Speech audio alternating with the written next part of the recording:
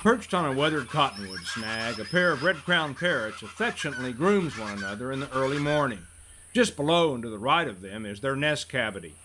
Red-crowned parrots form strong pair bonds, and many mate for life, which can be a considerable number of years, as it is not uncommon for parrots to live for more than 40 years.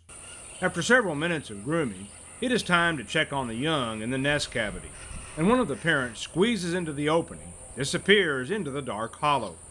But before descending all the way, the parrot peers out the cavity entrance for one last look around. Meanwhile, the other parrot keeps watch above, ready to alert its mate if any predator approaches. There are probably two or three little ones in the hollow, and it will take a couple of months from hatching before they are ready to fledge. Both parents share feeding duties, and they regurgitate a rich mixture of partially digested food into the youngsters' wide open beaks.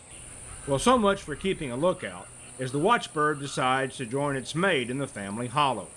After a few minutes, one of the parents emerges, suspended at the entrance, where it peers inquisitively around. After perching just above the hollow, bird number two squeezes out the opening, and after getting its footing, the pair flies off. This pair of red crowns will be making a lot more trips to and from the old Cottonwood Hollow as they deliver food for the next several weeks. With your Nature Report, I'm Richard Moore.